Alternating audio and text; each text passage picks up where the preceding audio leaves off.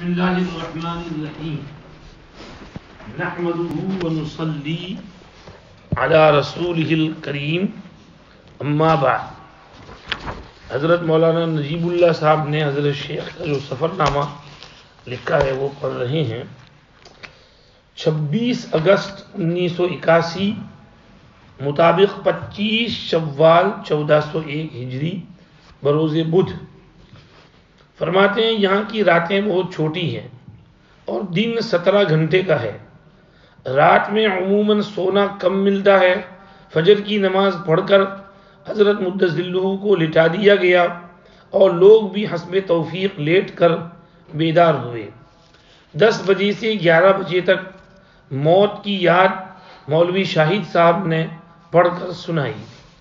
मुनासिब मालूम होता है कि 24 घंटे का के यहाँ के मामूलात जो मतबू हैं, नकल कर दिए जाएँ। फजर की नमाज़ साढ़े पाँच बजे, इसके बाद साढ़े आठ बजे नाश्ता, दस से ग्यारह बजे तक किताब की तालीम, साढ़े बारह बजे दोपहर का खाना,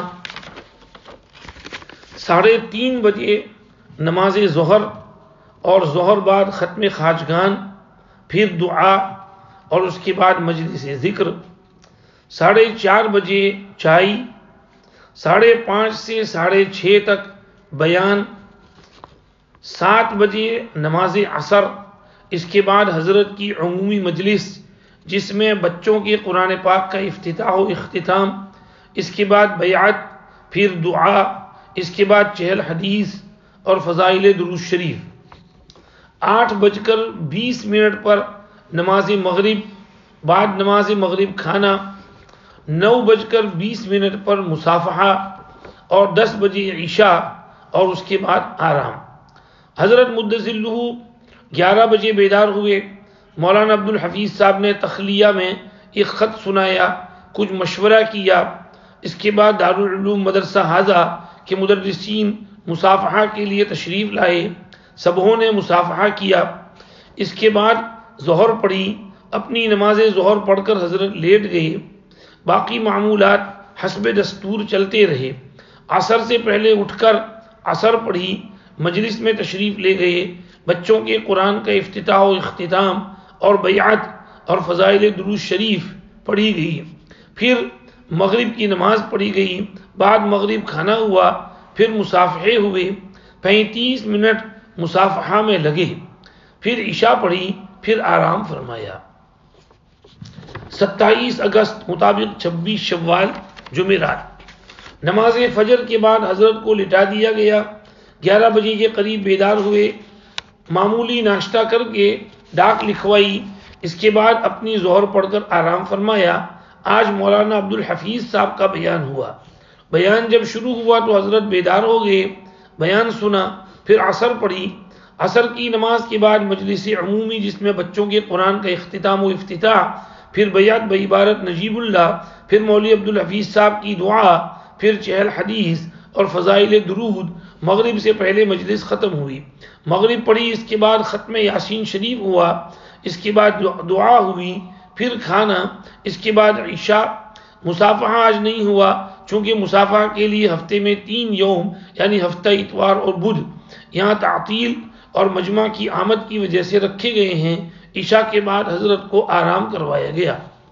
28 अगस्त इक्यासी मुताबिक 27 शव्वाल बरोज़ जुमा सारे काम हसब मामूल हुए। आज हज़रत मदजिल्लू पर ज़ौफ़ का गलबा ज़्यादा रहा कि रात ही से बुखार है। अल्लाह जल्ल शान सेहत व क़ुत अता फरमाए। जुमा से पहले मौलवी यूसुफ मुताला साहब एक हिंदू डॉक्टर को लेकर आए। उन्होंने हज़रत को देखा बलगम की दवा देकर गए और ये भी कह गए कि ज़रूरत है कि हज़रत के पूरे जिस्म का मुआयना करवा दें। मौलाना यूसुफ मुताला साहब ने कहा कि हमारे डॉक्टर रुखसत पर गए हुए हैं, परसों इतवार को आने वाले हैं इन उनके ज़रिए किसी को दिखला दिया जाएगा। आज जुमा से पहले मौलाना सलमान साहब ने बयान फरमाया, उनतीस अगस्त अट्ठाईस शवाल हफ़्ता, रात हज़रत को फिर बुखार रहा, आज दिन भर उस बुखार का असर रहा, जिसकी वजह से ज़ौफ़ का काफ़ी गलबा रहा। आज चूँकि आम तातील का दिन है, इसलिए मजमा भी ज़्यादा है। दोपहर के बाद से बसें भरकर आईं। मामूलात हसब दस्तूर मगरिब के बाद मुसाफा हुआ। मजमा तकरीबन तीन से साढ़े तीन हज़ार का था। तकरीबन एक घंटे का वक्त लगा मुसाफा के लिए। कारी मकबूल साहब ग्लासगो वाले वहाँ अपने दस रुफका के तशरीफ़ लाए। चूँकि हज़रत काजी साहब ने उनके यहाँ जाने का प्रोग्राम पहले से तय करा रखा है, इसलिए ये हज़रत ग्लासगो के लिए, हज़रत को दावत के लिए आए हैं। लेकिन चूँकि हज़रत की तबीयत मुबारक कल परसों से नासाज चल रही है, इसलिए भाई अबुल हसन से फरमाया कि अगर वो दावत दें तो माजरत कर दो, कि तबीयत ख़राब है, जाने की हिम्मत नहीं। मौली अतीकुररहमान इबन मौलाना मंजूर नुमानी भी लंदन से मुलाकात के लिए आए। दारूम के सिलसिले में बातें होती रहीं। तीस अगस्त, उनतीस शव्वाल, इतवार। फजर की नमाज़ पढ़कर हज़रत को लेटा दिया गया। आज ड्यूजबरी मरकज तबलीग जाना है। कई दिनों से हाफिज पटेल साहब से वादा है और बातें हो रही थी। चुनाचे आज के दिन ड्यूजबरी जाना तय हुआ था। साढ़े नौ बजे हज़रत बेदार हुए। इस्तिंजा वगैरह की ज़रूरियात से फारिग हुए।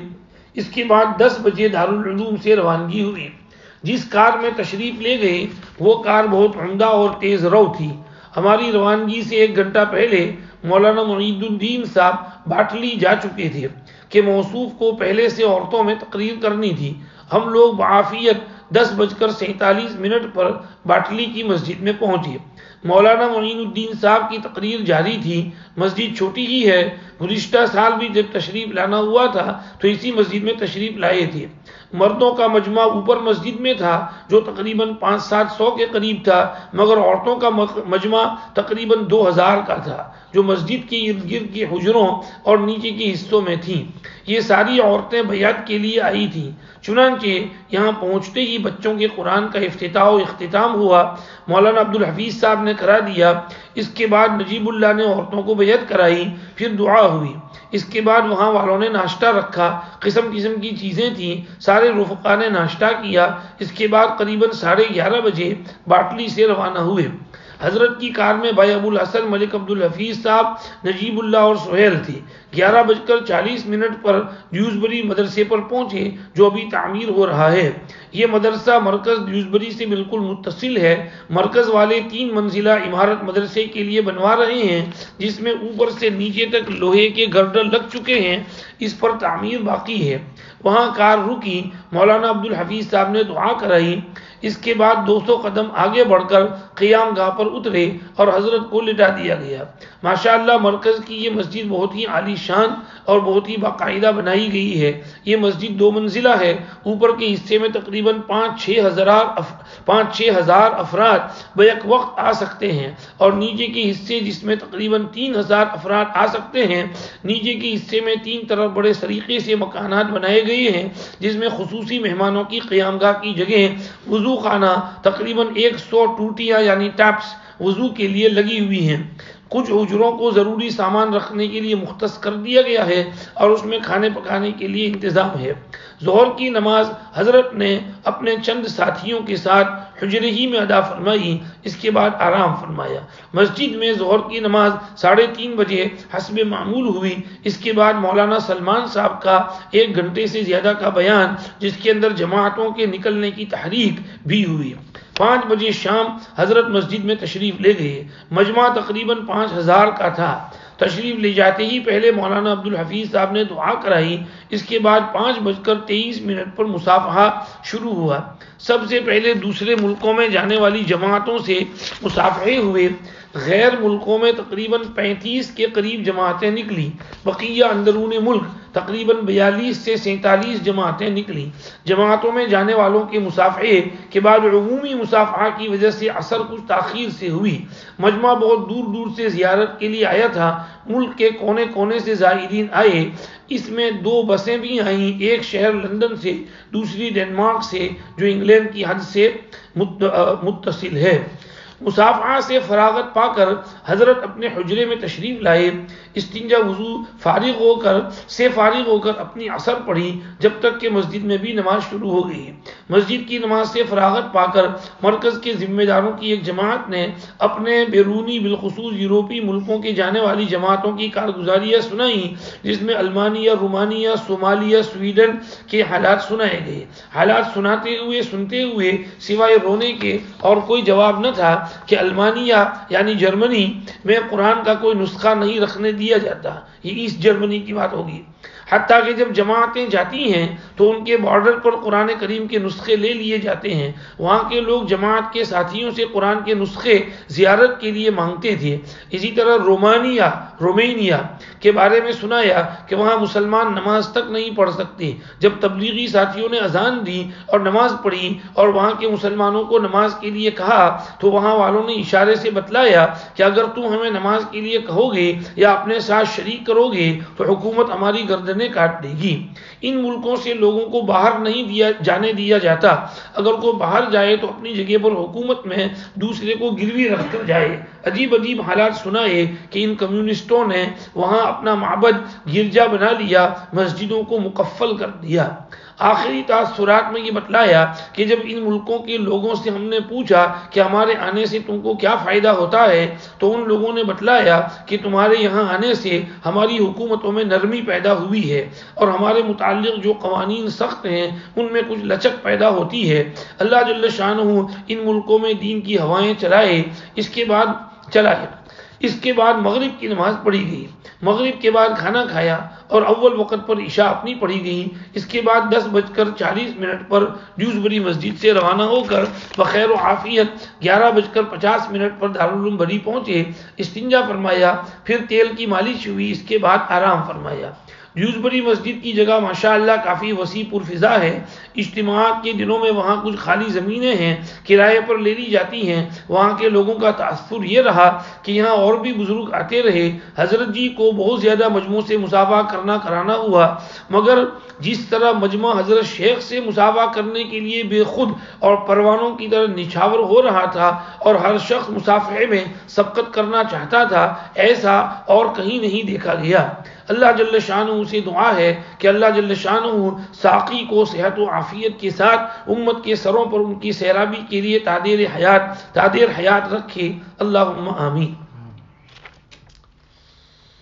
आगे इकतीस अगस्त, तीस शवाल पीर आज चौबीस घंटे की मामूलात हसब सबक रहे, कोई ख़ास बात आज की नहीं। यकुम सितंबर, यकुम जी कादा मंगल, चौबीस घंटे की हालात मामूलात हसब सबक रहे, कोई तगैर नहीं हुआ। दो सितंबर, दो जी कादा इसके बाद वहाँ से कुछ हालात हैं, वो कल पढ़ेंगे इन अगर अल्लाह ने कहा सुबह